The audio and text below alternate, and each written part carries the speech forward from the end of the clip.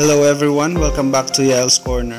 So today um, isn't a good day for me because um, I found Rayray, my Motoro Stingray dead inside the aquarium. Maybe this is due to a power interruption which occurred last night.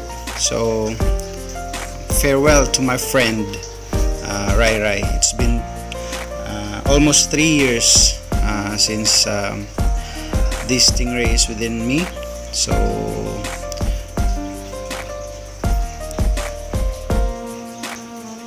rest in peace my friend